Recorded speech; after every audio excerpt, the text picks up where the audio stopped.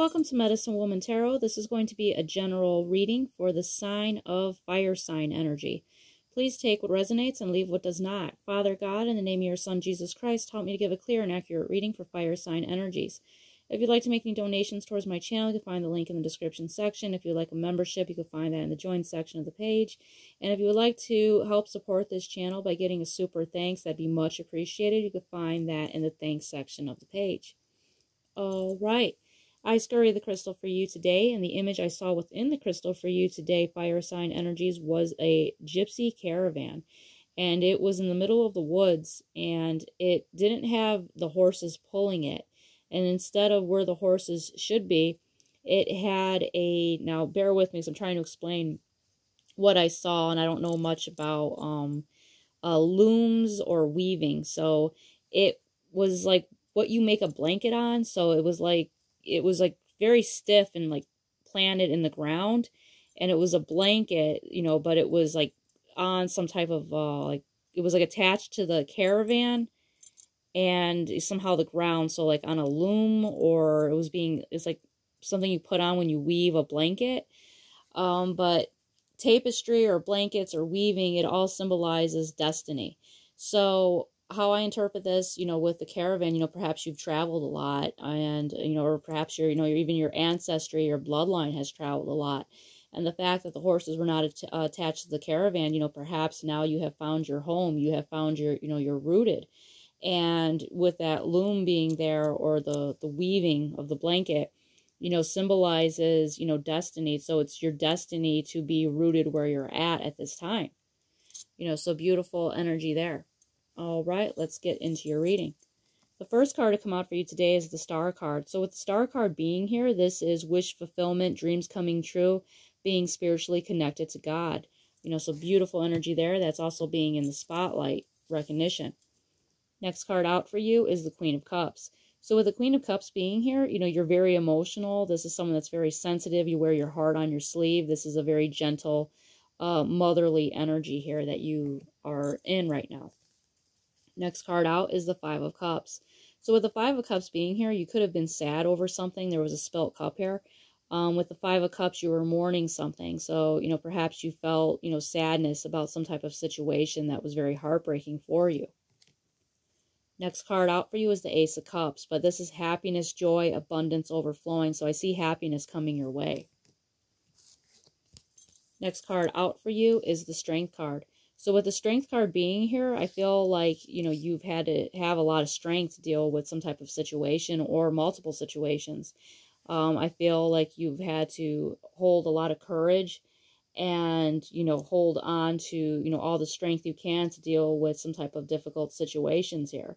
And I feel like, you know, God, um, you know, put you in the, um, when you know, God puts you in the situations where He knows that you can handle it. You know, so even though it might not seem like I'm trying to word this properly, like even though it might seem like it was overwhelming and like you could not handle it, you know, God made sure that He gave you enough strength in order to deal with it. You know, so He always made sure you were well equipped for whatever situation you were in, is the energy I'm picking up here. Um, the next card out for you is judgment. So I feel like God has, you know, weighed the scales here and God saw all the things you have gone through. And, you know, like I said, he's given you strength to deal with everything you've ever been through. And, you know, God is going to be giving you lots of blessings and good karma is what I'm seeing here. I feel like God saw your heart and he sees, you know, all the things that you have done, all the good deeds you have done. Next card out for you is Queen of Coins. So this is earth energy here. This is, you know, being very grounded energy is what I'm seeing right here. Um, then this symbolizes, you know, being very financially stable. Uh, this could be, you know, being financially taken care of or financially independent, you know, but regardless, I do see, you know, increase of financial abundance for you. Next card out for you was Yarrow, Boundaries. So the medicinal benefit of yarrow is it can, you know, help stop bleeding on wounds very quickly. So, you know, that's a handy knowledge, you know, to know. And the boundaries here is, you know, this symbolizes somewhat like an Aries energy. This is like a wounded warrior energy. And it's letting you know here that you have a gift of healing. You have a gift that is, you know, very much meant to be like a healer energy. So you could be very good with herbs. Um, this symbolizes, you know, even energetically, energetically, you know, healing people. You know, you're somehow connected with energy.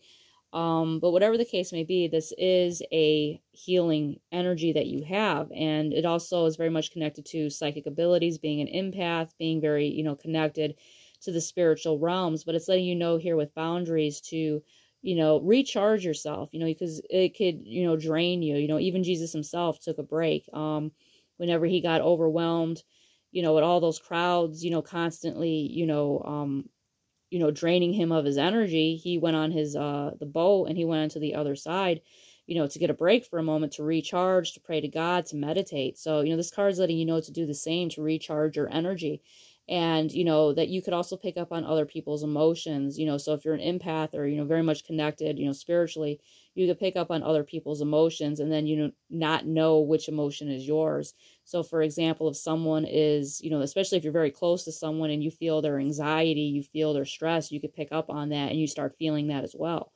Um, it's letting you know here you know to have boundaries you know take time to meditate to recharge you know so that you're not depleted of all your energy so that you have the uh, capacity to be able to be you know a healer and not completely you know um, worn out you know, before you can, you know, uh, help anyone because, you know, you can make yourself sick by, you know, not recharging is what this energy is saying here. Next card out for you is New Spirit Moon. So with this New Spirit Moon Hope. So this card is letting you know here that you have lots to, you know, lots of blessings coming your way here with the New Spirit Moon Hope. It's letting you know here to, you know, pray to God, ask Jesus, you know, in his name, and you will receive lots of blessings. So whatever you're hoping for, whatever you're praying for, you know, ask and you shall receive energy. You know, just like it kind of reminds me of the star card here. We are going to be having, you know, your wish fulfillment. You know, so all this beautiful energy coming towards you, uh, fire sign energies. If this resonates with you, please give me a thumbs up and subscribe.